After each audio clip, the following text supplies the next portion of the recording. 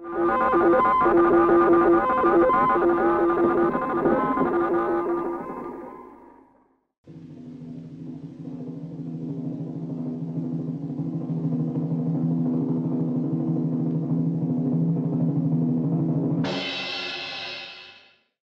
been very excited to talk about the War Machines.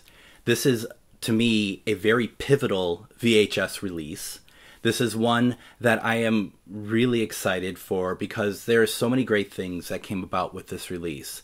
And I'm very excited to share my memories of them and also hear your memories of them as well. You know, as I always say, because there's a lot that happened with this release, I'm going to be talking about a lot of things today. If I get anything wrong, feel free to correct me. Feel free to uh, you know send me a, a very uh, polite note if you wouldn't mind, and let me know. You know because uh, this is something that we're constantly trying to learn together and try to figure out together uh, in terms of that this woven history of Doctor Who on BBC Video, and I'm very excited about that. Something else I want to draw your attention to. Um, I decided to try the Patreon route. And if uh, and at the time of recording this, I don't have it all laid out, but by the time this video is released, it all will be there. So please go to the Patreon link, consider supporting me. It all it just it, it will kick me in the butt to put more stuff out. Not only this video and other Doctor Who videos, but also the podcast. Remember that, as well as uh, as well as my DVD Blu-ray uh, reviews that I put on video, like I've been promising or threatening, however you want to look at it, doing uh, Quatermass in the Pit on Blu-ray, you know, or 1984 that just came out from BFI. These are things I definitely want to uh, put together. It's a kick in my butt. It's also this stuff is time consuming. As you can imagine, all of you content creators, you know what I'm talking about. Even though it doesn't look like it is, but you know, like in front of me, there's like five lights, you know, all these things just to kind of keep things going and whatnot that's why I ask if you consider uh, supporting what I do. At uh, there's multiple levels. Each one have a little bit more rewards if you want to do so. I would greatly appreciate it. Otherwise, enjoy the video regardless because I do want you to enjoy these. But uh, with the Patreon, there'll be some behind the scenes stuff, some extra stuff I'm going to be posting, scans of covers, whatnot. So uh, definitely uh, check it out, please. I would greatly appreciate it. 1997 was a great starting point for me for uh, getting revitalized in uh, in uh, Doctor Who on BBC Video on VHS, and I, I believe for myself, 1997 through 1999 is kind of the sweet spot for me of releases because that is when uh, the regular uh, work done by the restoration team working on these VHSs was becoming more normal. You know, up until that point, we did have some great releases um, in terms of like the Five Doctors Special Edition or uh, the Pertwees, the colorized Pertwees, or the Years tapes. I mean, these were all great, great things. But it felt like the mantle had been uh, had been moved over to the restoration team on these on how Doctor Who's presented on home media, on video, and uh, it was really exciting. Uh, I remember that um, I knew Steve Cole, who was in charge of the brand of Doctor Who around that time, and and I think he just he catapulted it not just with uh, with uh, the VHS releases, but with the the books, getting the you know the past Doctor adventures in, the audio, everything, getting all of that going. Um, and I haven't talked to Steve in a long time. I can't imagine he'd remember who I am, and I I totally understand. We used to actually all of us hang out at the Gallifrey convention a lot, and it was really fun to. I, I don't think he ever really gave away any specific information that inside information or anything but it was fun him just talking about it because he was in charge of doctor who and that was really cool i was so happy for him he left at some point to pursue other things and i thought to myself why would anyone want to leave that? Well, you know, not everyone just wants to work on Doctor Who for life, Greg. Other people have, I, quote, ambition. But I was, I was certainly very much one of those people that was like really excited to hear how he was moving the brand forward. And the War Machines was a great uh, starting point for that. We'll be talking about that all in a little bit. It was also the the kind of I I mean I know that this release was in 1997. 1996 there was a rebranding and we'll talk about that but i really think that that rebranding kind of settled into itself in the 1997 releases and we'll talk about that too but boy this was this was truly uh, a great time as far as i'm concerned and i'm going to share that information with you you know the story itself to me immediately stuck out when i first saw it because it it was con- you know at that point I'd seen a lot of other Doctor Who. You know, Hartnell stuff was you know kind of in the middle of seeing all the other stuff because that's how it worked on PBS. You just got it when the stations got it in. But the thing is, is that it was uh, immediately like after watching all the Hartnell stuff, and I'm going to be honest, watching it movie version, as far as I'm concerned, well, all the episodes together, that's tough it's really tough for me to watch them all together. But watching them episodically changes it all for me some reason. Where I'm going with that though is that watching the movie version, watching from an unearthly child till here, it didn't impress me all that much at the time. Doctor Who was not very uh, interesting to me at that point. And uh, in terms of the Hartnell stuff, I expected so much more. But the thing was, is that it was um, a breath of fresh air with the War Machines because we really got out of studio. There's a lot of luscious uh, location filming, and it was really the first time that Doctor Who had been doing a lot of location filming in contemporary London for its time, modern day London. And being a big fan of London and not knowing anything about it, to be honest, at the time, it was very fascinating. Stuff like the post office tower. I mean the way that it looked i could i just imagined that when you'd see it on you know when you go to london that thing would be dwarfing everything. Just massive and of course it doesn't. But it's beautiful. It's a beautiful piece of architecture and all this stuff was really fascinating uh, for me.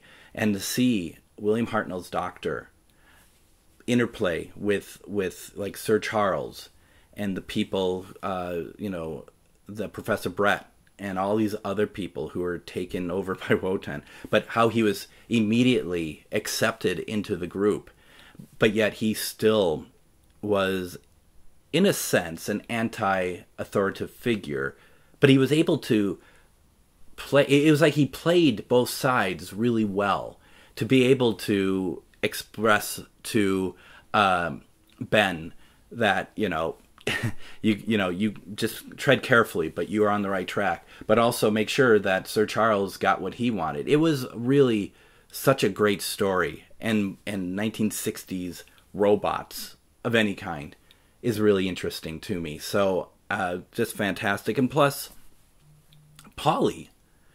You know, Polly, I mean, Ben to a certain extent, but Polly is just a modern character you know, she really looks like part of that 1960s look, the mid 60s, the swinging 60s.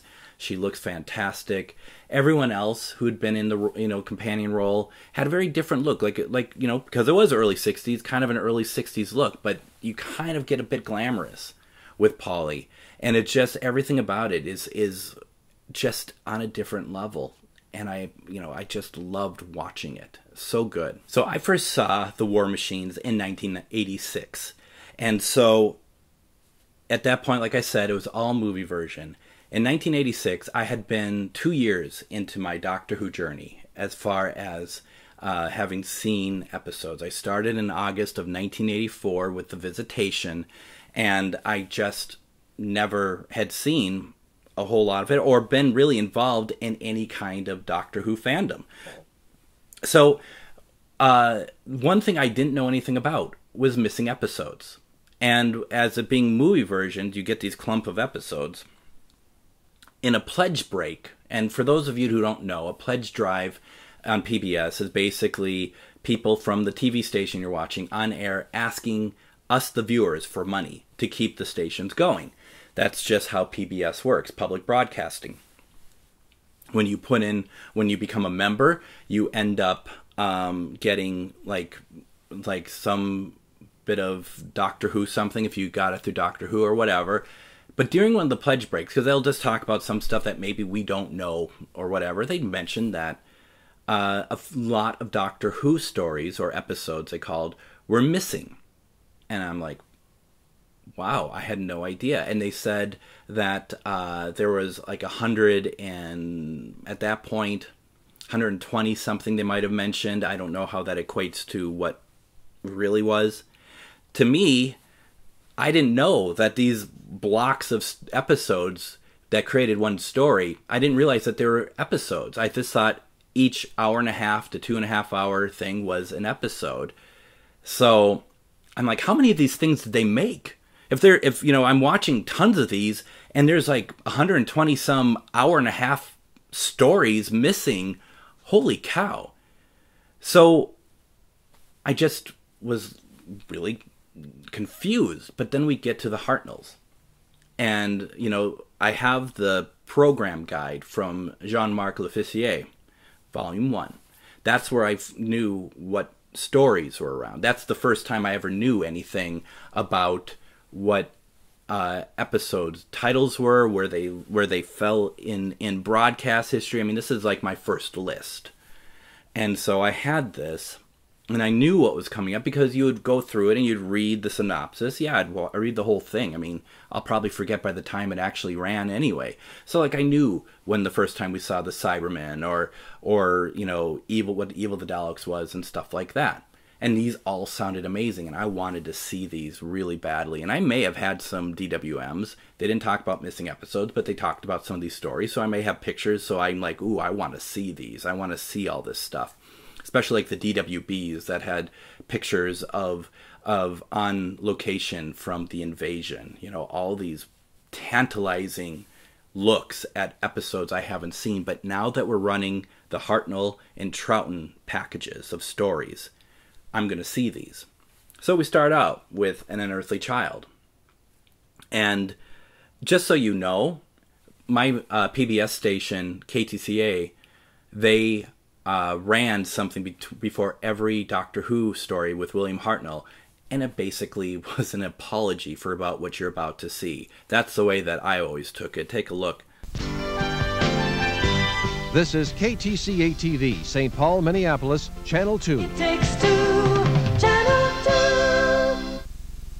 The following Doctor Who adventure relives the first dramatic moments of Doctor Who on television. William Hartnell stars in the title role. Produced in the 1960s, this Doctor Who episode captures the vision and technology of its time. And now, across more than two decades, we return to the adventures of William Hartnell as Doctor Who. Doctor Who is brought to you locally by the Unpainted Place, designers, builders, and retailers of natural wood furniture.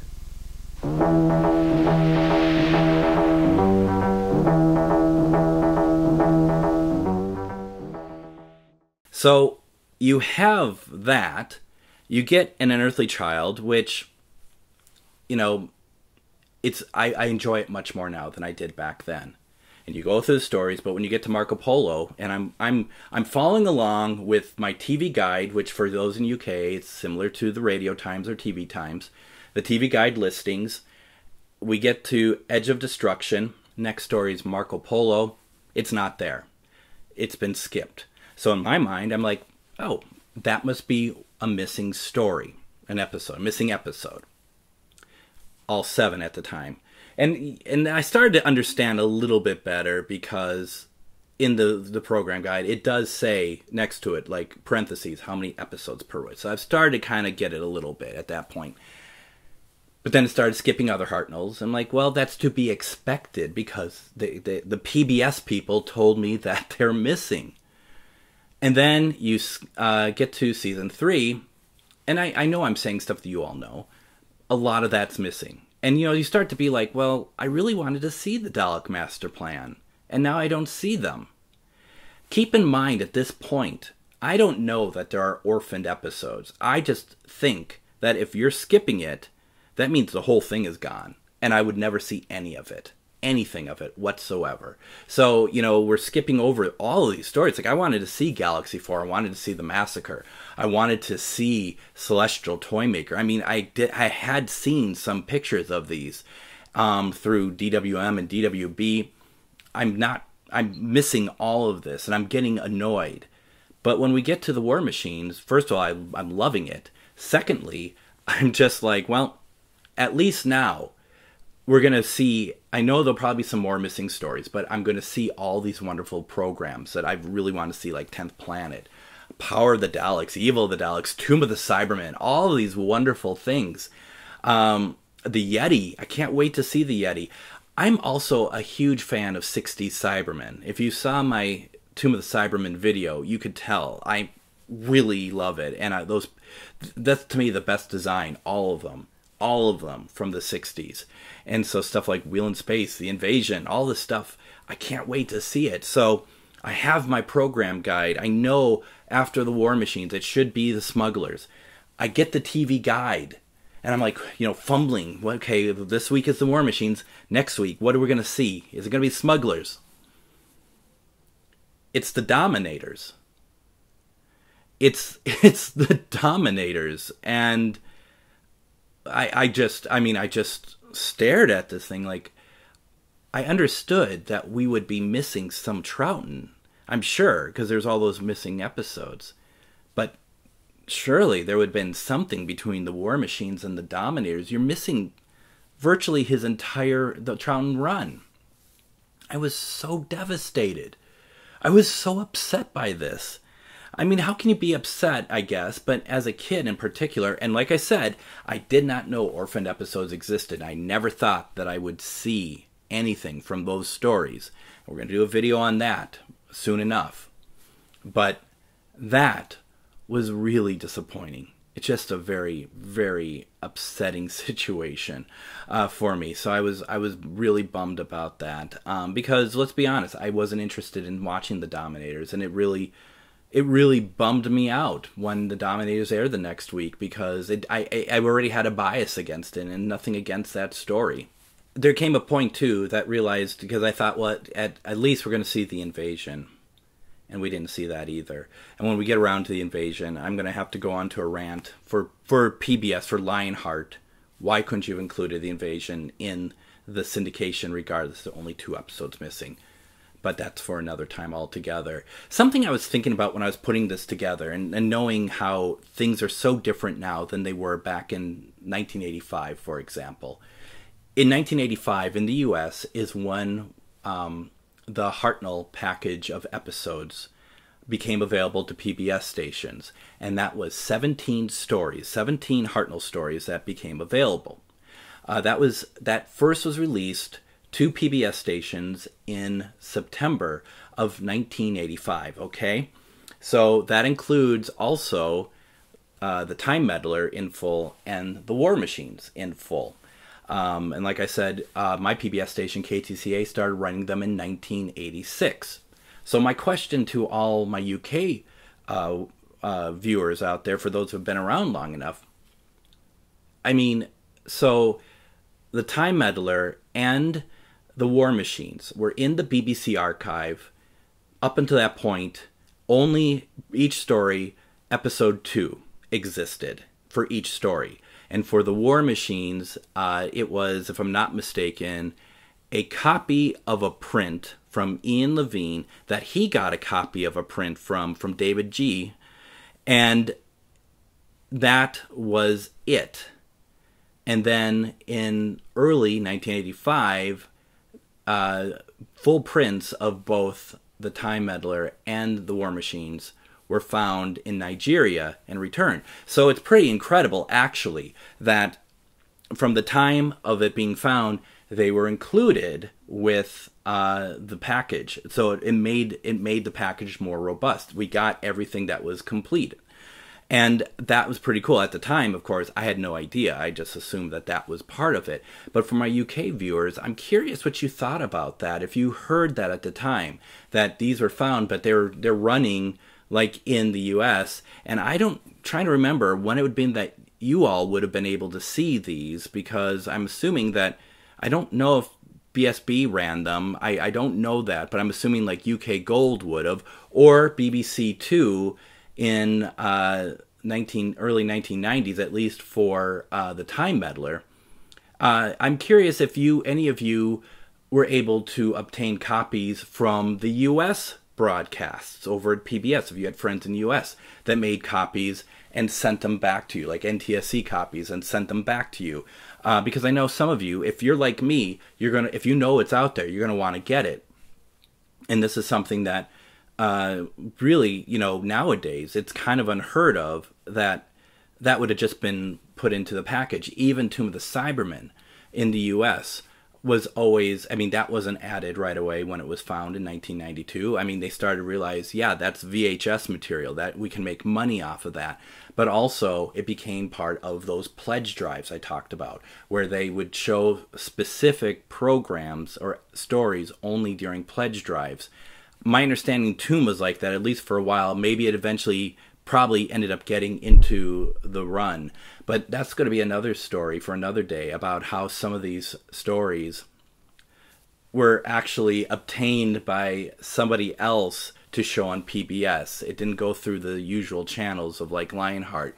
It's very interesting, and that's the stuff that affects like uh, Planet of the Daleks invasion of the dinosaurs. So we have that to look forward to. But I was just curious if anybody in uh, the UK tried to go out of their way to get copies of this, or if they were also running in packages like in Australia or New Zealand, so you can get them in PAL. Please send me a note. I would be very interested in knowing what if if any of you got that because like I said, if I knew it was out there at the time, like if I knew, I mean, if I know something's out there and I don't have it, yeah, I want to get it. Totally.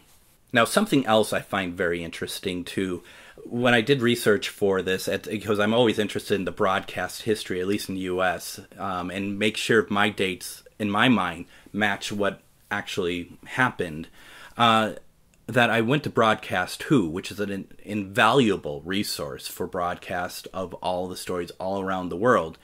And uh, I noted that for the War Machines there was a footnote that was on uh, on the story in the syndication in the U.S. And remember, like I said, that became available in the U.S. in 1985. So what you have is this footnote that says the Hartnell to Troughton regeneration scene was apparently spliced into the end of the War Machines for U.S. broadcasts. So basically, what they're saying is that they took the regeneration from the 10th planet and spliced it at the end of the war machines. So um, you can have next week the doctor the second doctor being in the dominators. I had never heard that before. I had never seen that before. I have had you know multiple copies of this story from all over America, from recorded off air. I've never heard that before. I've asked people about it; they never heard it before. So I went to the source, and that's T.J. Lubinsky, and T.J.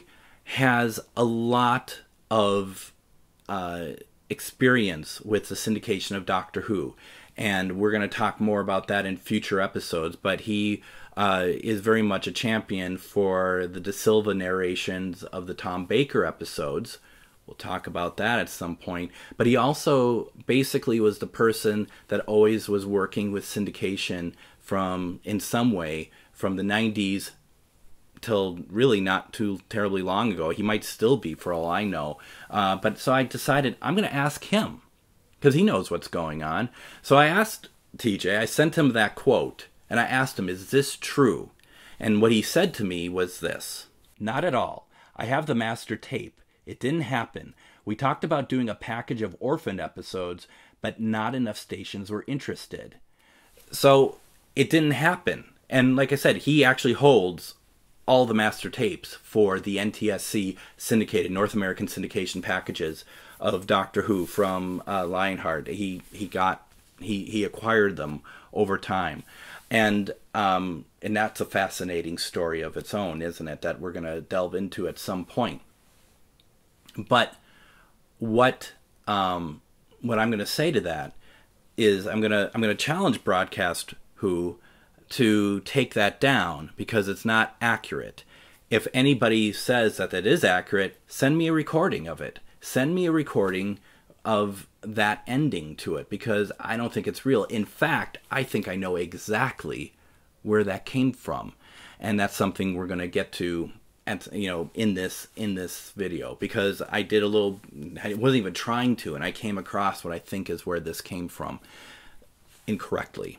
So one of the things about this video that I think always will stand out to me, first of all, the pure excitement of of knowing that this was coming out and wanting to get a copy of it.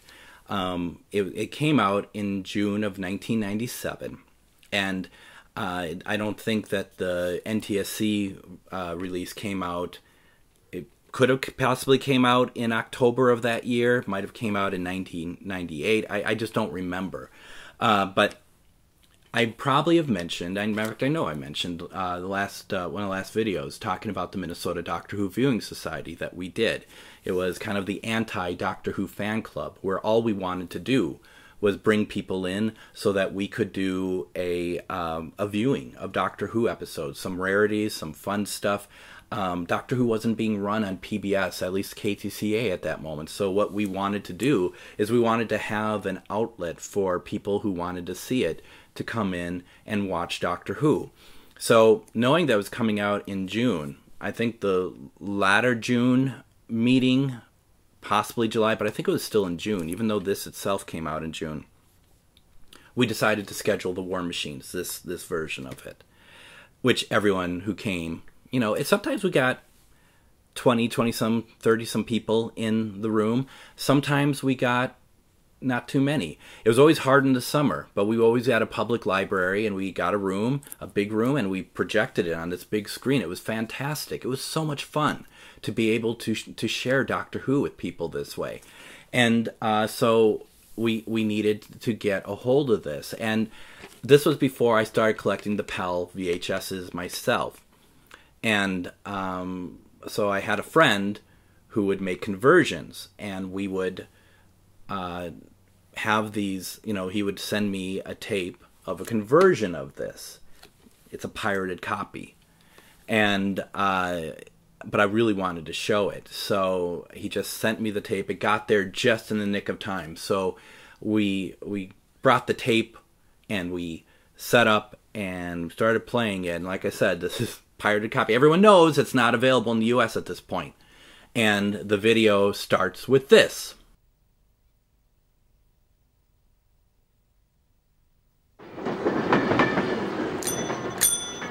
Darling. Four weddings. Here, Rocky four, five, six. Excuse me, I bought this video from you last Saturday. So? Well, I can't understand a word. Trainspotting? Not surprised. Oh, all talking in Scotch, ain't they? No, I mean, it's the, it's the sound. Yeah. It's hopeless. It's absolutely Yeah? hopeless. Yeah, yeah, yeah. No trains in it either. I suppose that's my fault as well. Here, darling. Four ninety nine. Well, the picture's rubbish as well. Well, that's your tracking, mate. Well, it's all right on my other videos. Tracking's touchy. Be careful. Most pirate videos are unwatchable, and there's no comeback. Got a receipt, eh? Got a receipt? Look, you said last week. Said's no good, mate. Oral contract. Not worth the paper it's printed on. Yeah, darling, four weddings. Trainspotting. As advertised on Crime Stoppers. Pirate videos, daylight robbery. And we laughed. We thought it was so much fun. We thought we were really funny about that, but that is the case. I mean, I did eventually buy it. Doesn't mean that it was not the right way of doing it, uh, but it, it just we really wanted to show the war machines. And I, let's be honest, the Doctor viewing Minnesota Doctor Viewing Society, all that stuff kind of came about the same way. I'm not going to lie, but it was fun sharing that with people. Also, what was really cool I used to do these like little newsletters. It's like uh, eight and a half by eleven, folded in half. Get them copied at Kinko's, lay it out, all for this viewing party. Even though it wasn't a fan club, and we really, I mean, especially the more we started doing. I mean, it's more. All the stuff is always for me. It's not for really anyone else. I wanted to have a video room, so I had a video room. People showed up, great. If I'm doing videos on Doctor Who VHS releases and people watch it, great. But so I uh, got in touch with Steve Roberts because at that point he started the Restoration Team website. At that point, he uh, you know started to write articles on this stuff. He didn't. They didn't do the uh, the chat, the forum, which really ended up being the downfall of everything, sadly. But I reached out to him. I like, could I do an interview with you, like a written, like I'll send the questions. Could you answer them? And he's just like, absolutely. And so he did that, and I put that in that little newsletter. I have still a few of these different newsletters I'd created, you know, brochures, whatever you want to call, but I can't find that one, which is a bit of a bummer. Uh, but uh, you know, I I feel happy about doing that because I did it at the time that um, a lot of people were still like kind of getting to the belief that Doctor was being treated very well, the episodes, and that I don't think a lot of people had reached out to the restoration team or Steve. So I felt really happy to have that and share that with people. And the thing with that is that it is truly um, the start of a friendship that I've had with Steve for since 1997 and it wasn't it, it certainly didn't hurt that he was also one to go to the gallifrey conventions and i would see him there. And uh, see i don't think i've ever saw him at a chicago convention. I think it's always been at the, the gallifrey in, in los angeles. But got to see him been on panels with him. Uh, we've exchanged a lot of uh, notes back and forth over the years. In fact there's times that i put out these videos not the doctor who ones but others that he he'll politely correct me on on stuff that I'm not getting right you know, because he wants the right information out there. And uh, one of the last times I was in London, he gave me a tour of the BBC archive. You know, it truly, you know, I've been very blessed to have him as a friend through all these years. And I, I, I try not to bother him, to be very honest, because there's, you know, a lot of people, but it's always nice. Like, sometimes he'll reach out. Sometimes if I have a question, I'll reach out to him and I always enjoy that. And so that's something I always think about when I think about the War Machines is having a nice uh, friendship with Steve, and and it grew with friendship with others. It's been it's been really fun to see how that works. I always like to talk about how this how like this appeared for DWM and DWB because it's it, that was always part of the fun of it, wasn't it? To be able to uh, to enjoy the the kind of the excitement running up to it. That might still be the case for the Blu-rays. It was for the DVD to some extent. For some reason, this really was always the way that it worked for me. So, um, when it came to DWM, uh, DWM 247 published in January of 1997. That's where they announced the title would be released. Um, but there was no mention of any restoration or any any footage being put back into it at all. So uh, that was, you know, it just was like this is a title coming out, and from there, um, in March in issue 249, that's where it makes mention of uh, confirmation of the title that it would include uh, footage being returned to the episodes, and then in DWM 252 with a review by Dave Owen, um, just kind of going through. But I, there wasn't, I don't believe there was much about the restoration at all. That's where you go into the following, uh, that was in June, for the July issue, which would have been DWM 253. That's where you have a look at the restoration, and which is written by Richard Molesworth. That article is also on the restoration team website.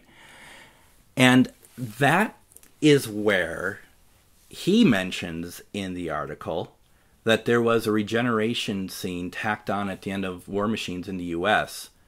So it would end with uh, War Machines would end with the regeneration, and then the following week would be the Dominators, or whatever the following episode, however you want to say it. That's where I think that started, and that is incorrect. And uh, you know that's fine. You know people make mistakes, but you know I'm actually surprised to see it in Broadcast Who on the site because uh, knowing how good they are with the facts and everything, this is truly uh, not. Um, this is truly something that didn't happen. Once again, if they have proof it happened, they should let us know because there's nothing that says that. And it's like I'm not getting worked up about it. I know it kind of maybe sounds like it is, but it's just like it just doesn't even make sense. How how would that even work at the end of the War Machines? And it just cuts to Hartnell on the floor regenerating. Uh, maybe, not maybe. It didn't happen. so for the release itself, first of all, as we talked about, that with this release, um, we are well within the rebranding of Doctor Who. Going back to 1996, the TV movie came out in May of 1996. I, I don't remember the air date of the UK broadcast. I certainly remember it was May 14th in the US. I think we got it first. Um, but in the UK, for the VHS range, The Hand of Fear was released, and that was the last release to feature the diamond logo on a VHS cover. And the next release was going to be the TV movie with the reflective um, new logo, which eventually was going to be called uh, once once they got it figured out, the blue mirrored logo. That's how the BBC calls it. Uh, and then the only other VHS release of that year was The Green Death, which was a tribute to Jon Pertwee, who had died in May of of uh, 1996. It was dead. The TV movie was dedicated to him. Uh, we go to 1997, and that's where we start getting things a little bit more uh, normalized for the brand. That's where we first get this uh, this chrome version of the logo. It doesn't have the first couple releases doesn't have the little um, glow around it in fact, uh, it, you know, and it really looks off to me. It looks much better with the glow. And those releases were the Leisure Hive, and then uh, the the Awakening and Frontios. For June, we had the War Machines. Now, for Leisure Hive and the Awakening and Frontios, we still had um, art. You know, we still had painted covers. Once we got here, what is this? Whoever said that this is what covers should look like. Um, this is uh, I, I don't understand what who I mean this is Black Sheep and I I, I always love to give a lot of uh, support to the artists who made these covers because 90 unfortunately 80 some percent are brilliant because Black Sheep has taken over. Not all Black Sheep covers are bad, but this one at the start, first of all, it's super easy to make a galaxy and then twirl it in Photoshop um, so that it looks so you get this crappy effect. And once once people learned how to do it, it was everywhere. You know, the people making covers, you know, and they posted on Twitter and stuff. That started way back in the VHS range, folks. This is really I was doing it. I did it for the tenth my my horrific cover for the tenth planet. I still have I still have it. I'll share that someday. We can all laugh really loud. Uh, but you know, where's the post office tower on this thing? You know, there's key wonders. I mean, it's just this weird sort of bizarre look, and I, I can just imagine. I don't remember at the time, but I could just imagine everybody being like, "What is what had happened to this stuff?" And you know, Steve Steve Cole Steve, I just I just praised you. What what was going on? Uh, it's it, it happens, right? So you got your tape, um, and then of course you have your cover, which this is the first, if I'm not mistaken, the first VHS cover and not the last, where it becomes fold out. And what's nice about this, the fold out on this is talking about the restoration of the war machines. This is um, this is documented. This restoration was heavily documented. That's what's exciting about this because they absolutely wanted to say this is special, and it was. It was a truly special release, even with the cover looking as like this. Um, it was still obviously I'm so I was so excited for it. I mean, it almost made me kind of forget how crappy this this cover is because we have it, but you know, you look at like the DVD cover, you look at the book cover, you look at all anything else. It's really really good. This one isn't. Thing is, too, with this, you think this is bad. The NTSC cover is horrible, and uh, it's the same basically. But then the logo that they use for the rest of the range, their their blue version of the logo is I think truly atrocious. I don't understand how you could think that that was good. And I'm going to take that back. I do think that they switched to the proper logo at some point that that mirrors what the BBC is doing, but for a while they have a logo that is just really bad. Now I know there's people who don't like this version of the logo, this kind of this chrome version of the logo. I love this. And I, I equate it to the time that all this good merchandise was coming out I think it's a really cool looking, to be very honest. Don't turn off the video. Don't hate me. But I have never been a fan of the diamond logo. Not really. I mean, it's fine. But to me, it's like perhaps not this one, but certainly the blue mirror logo that was for the rest of the range you know, if you want to have this stuff taken seriously, I think that's the way to go. And people are still, and I just read it this week because uh, as we're recording this, all sorts of news is coming out about the Russell era returning to Doctor Who and and David Tennant returning and all this stuff. And people are like, well, if he's returning, we gotta, we should return this. And they're showing the diamond logo and stuff. Why do you all like the diamond logo so much? I've never understood that. What what is it that even okay if you liked it? Why don't you move on except that it's not coming back?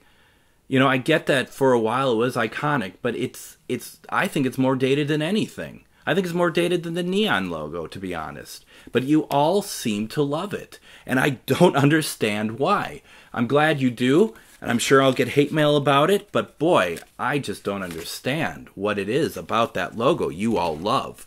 And i'm glad it's not on anything anymore to be very honest I can just imagine my viewership has gone down to zero now. I know I'm in the minority on that one. I also think I also think that they really mucked up the back of the of the the VHS releases as well. I mean these they're just not it's just not dynamic anymore. And it's just a shame. Uh, but there's but what the other good side of it is as as you will see as we move forward to some of these later releases like with the fold you know gatefold that it you get a lot of information on these releases. I mean, this alone is really pretty cool that we get a just uh, you know some information about about what we're going to be watching. You know, obviously this is before the time of DVDs where you cram everything into it and I'm so blessed that we do. But this is very uh, this was this what makes it special. This makes it very special and at this point, we have, you know, a lot of really nice art that, you know, even just how we're advertising about it and stuff. I just think it, it really is, uh, it really was a cohesive brand. And some of it I don't like, and that's fine, but a lot of it I really did. And I think that that is what really made it special. And even like the fonts, you know, like we all try to find fonts like you know that you know as best as we can that matches. Like we, even they, at this point had problems with getting a, a correct R on the, the War Machines because over time they changed the font a little bit so it's a, a more defined R. You know, just small things like that, which make it really fun. And this was still using the old BBC logo uh, on the spine you know. Uh, so a lot of interesting, a lot of interesting things with with how this looks and stuff. And uh, you know, speaking of extras, VHS have extras. This one certainly did. You know, I I even forgot about this when I rewatched it. That I knew. You know, I actually did kind of forget that there was the Blue Peter clip from 1965 uh, that has Valerie uh, Singleton in it, and uh, it you know was the first look at the War Machines uh, in general ever, and they were in the studio, and it was a really really fun piece. I kind of forgot that that was on the VHS because I had already transferred this a long time ago to digital, so I didn't grab the tape to look. Uh, and then after that, you have a BBC, a bit of BBC continuity from the time of uh, broadcast. You know, not from the War Machines broadcast, but from that era, from that time period. Which, once again, just a little bit that adds so much extra fun. Once again, this is being put together by people who love Doctor Who as much as I do. That was exciting. That was fun. It's so much. It's so funny. I don't know about all of you, but I look at it like, boy, do we really have it good. Boy, this was this is like really amazing. You know, I even thought that when we had the interview with Morris Barry on Tomb of the Cybermen, like that's really neat. Never in a million years would I have thought about what uh, sort of releases we would have when the DVDs came out, and the fact that they're, you know, multiple documentaries on the release for the War Machines DVD, you know, just stuff like that, or more Blue Peter, more archive stuff. Never would have thought that, and that's what's that's what I love about this, and being able to still appreciate this. That this this is not archaic. This was fun. This was really cool to have like this. So I want to talk about the restoration. I'm going to do the best I can on this, and I want to talk about some of the cuts that were made. And I went to the restoration articles for these that were written by Steve Roberts. Um, and so some of the stuff I'm going to just go through as what, what he called out as cuts and whatnot. But first of all, uh, you know, when I watched The War Machines in 1986, I didn't look and be like, oh my God, there's a lot cut out of this. I have no idea. You know, I had no idea any of that. Uh, and in what was it, 1996, that uh, Damian had found all those Australian censor clips for Doctor Who, a ton of them. It, it's always been ironic to me that the stuff that has been cut off because they don't want people to see, in some cases, is the only thing that exists of episodes, certain episodes. Obviously, with the War Machines, the story exists, but there's cuts to them. And these censor clips restores a number of those cuts. So, you know, this is the first time where you can take multiple areas of of source material and create a finished product as close as possible to how it was broadcast. So, let alone you have those four episodes that were found in Nigeria, you have the film print from episode two from Ian Levine that um, is not as good quality. Um, they might have gone eventually. They might have gone back to David for to get a transfer of his uh, his uh, film print of it. But I think there was also projector damage as well to that print. But then you have the Australian censor clips. You also have um, some really good quality clips that were taken from Blue Peter that they that were from the episodes, or even I think extended film clips that were from, that Blue Peter had. And then you had Graham Strong's audio, because we all know Graham Strong, who's the audio recordist that recorded um, Doctor Who audio, and in most cases, uh, in a very beautiful, you know, direct line format. But you know we think about that a lot with the missing episodes because we got those beautiful releases. But also he didn't know what was going to be missing you know all that time it all existed. So he recorded pretty much everything with the exception of stuff like celestial toymaker.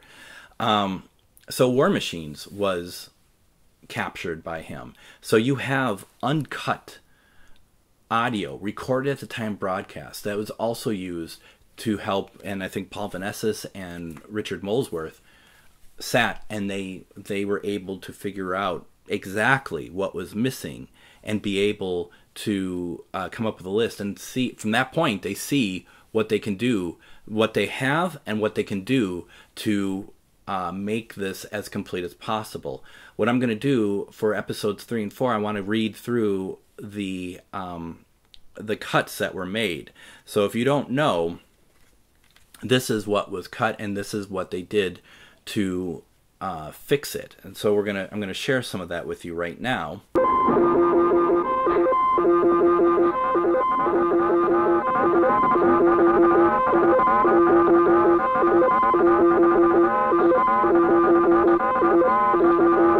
I mean, it just, I mean, at that time, and still does for me, it just blows my mind all the work that went into this VHS release. It just absolutely blows my mind. And I'm, I, I just, when I watch it, when I watch it now, I can see the cover ups. Back then, not so much. I just enjoyed it. I knew a lot of work was done with it, but I just enjoyed it. And I really thought that that was really pretty cool how they did that.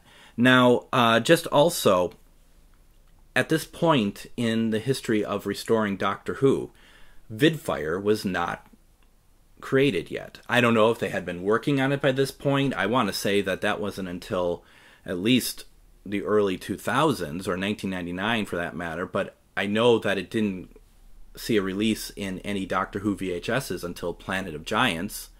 But uh, so there was no vidfire It was just the film prints, but a lot of work had been done on it. And you know, you look at those restoration articles talking about those tape to tape transfers. They talk about the work that they have done. You know, it's a workflow that does not exist anymore. What I also find very interesting is to talk about assembling the master duplication tape where it you know where they put the BBC ident and stuff like that in front of it.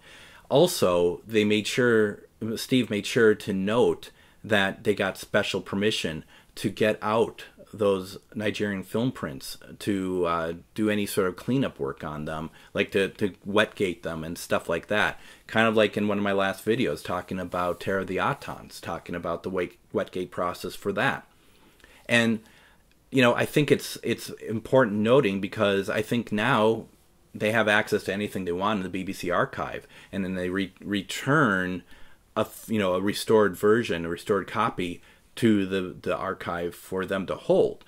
At that at this point, this was all incredibly new, so they weren't doing any of that, and that you know it shows that they were really doing something that hadn't been done on Doctor Who VHS releases before. Hell, probably wasn't been done in any sort of home media for any of the BBC properties, and uh, that was uh, you know reading this stuff was just so exciting to me because it's just like the the handling of broadcast materials and that some stuff they don't generally let out but they did for them and all the work that went into it and taking this jigsaw and and creating a finished product of it that stuff is so fascinating to me. Just like when i was talking about the monty python flying circus set from network. That's another gigantic jigsaw puzzle. That dedication is means so much to me because I love watching these programs and I love watching this stuff looking as good as possible. And I'm not going to do a comparison between the cuts between the VHS and the DVD because uh, life is too short, quite frankly. But, you know, just know that I think what ended up happening, first of all, is Vidfire. They they started a ground up restoration on that for that that title, but also I think that they were able to patch things a lot differently than they did for the VHS. So once again, I I think that I I can't say that it's completely complete, but it's pretty darn good. And if it is complete, you know, my apologies for getting that wrong. Wouldn't be the first time. So obviously, you know, what do I think of this release? It's brilliant. I mean, I, I don't even need to say it, do I? I mean, I I'd love to know what you all think of this. Uh, you know, the only thing that starts letting the releases down at this point, which is really frustrating, are the duplication of these stories. Uh, you know, as far as the duplication houses they're using, the type of tapes they're using. You know, especially when you get to the final releases, which the final release was the Reign of Terror box set, but even before that, like Invasion of the Dinosaurs you know, it's just a really crappy videotape. These, you know, this is okay. When you get to something like the Ice Warriors, that's really suspect, unfortunately, considering all the work that goes into these. Um, but just, I love them. I remember when I watched these again before I made this video, I just was smiling ear to ear because that brings back so many memories. And it's so beautiful to see these. And I love the fact that I can watch this, or I could watch the DVD, which is also equally brilliant with this wonderful, beautiful cover by Clayton Hickman. And the thing about this, it's like This is a nighttime shot. You know, this whole thing is nighttime. So, you know, it's just a different take on the cover, but yet still utilizing all of the um, all of these wonderful things that I had, all these assets and all these iconic shots that I'd love to see on it. What I want to do is I want to show uh, a little bit of the difference in quality between the off-air War Machines, the VHS, and the DVD. Let's see how far we've come. Take a look. Good morning, Sir Charles. Doctor. Good morning. I'm sorry I'm late. Late? Late what for? Well, for work. If you'll just show me where your secretary does work, I'll take over. I'm afraid I don't quite understand. But Major Green told me to come straight round here at once, as Professor Brett didn't want me this morning, and your secretary was ill. Yes, well, my secretary is away today, but how on earth Brett knew? Still, I mean, if you're here, I'd be very grateful for your help. The office is through there. I'll be there in a moment. All right, thank you very much. How's Dodo this morning, Doctor? What I'm also wanting to do, which I haven't done before, I want to share an audio comparison between the off air that Graham had. You can hear the untreated off air before Mark had a chance to do anything with it, the Randolph tape of the War Machines, as well as the uh, restored audio that was released on the audio CD. Take a listen. It's amazing what had been done. Ah, Minister, if you don't mind, I think I'll ask this fellow a few Yeah, yeah, yeah, just a moment, sir, please. Major Green? Do you know him, Doctor? Yes, of course. Do you remember me, Major Green? Hmm? No, I, I, I don't. I, I'm afraid I don't remember anything. Where am I? What is this place? You don't remember anything. No. You remember this machine? Good heavens, what on earth is this thing? Ah, Minister, if you don't mind, I think I'll ask this fellow a few Yeah, yeah, yeah, just a moment, uh, please. Major Green? Do you know him, Doctor? Yes, of course. Do you remember me, Major Green? Hmm? No, I, I, I don't. I, I'm afraid I don't remember anything. Where am I? What is this place? You don't remember anything. No. You remember this machine? Good heavens, what on earth is this thing? Ah, Minister, if you don't mind, I think I'll ask this fellow a few Yeah, yeah, questions. yeah, just a moment, sir, please. Major Green? Do you know him, Doctor? Yes, of course. Do you remember me, Major Green? Hmm? No, I, I, I don't. I, I'm afraid I don't remember anything. Where am I? What is this place? You don't remember anything. No. Do you remember this machine? Good heavens, what on earth is this thing? I'm really excited to be able to share my memories of this wonderful story. Share your memories with me. Let me know what it was like to get this. Also, UK folks, let me know about whether or not you um, had gotten a copy of the War Machines in 1985 when uh, through those tape trading circuits. Also, um, you know, just send me a note. Let me know what you think of these. Are, are these still working for you? Still enjoying these? I feel like sometimes they're getting longer and longer all the time, but these are also because I love talking. I could just end the sentence there. I love talking about Doctor Who. So uh, keep that in mind. Uh, send me a note. Do whatever you want to do. Also, please take a look at my Patreon. Uh, feel free to uh, take part. Otherwise, you know, as I always say, we have a lot more of these to go through, and I hope you're enjoying these. And please reach out. And there are more space adventures on these BBC videos with William Hartnell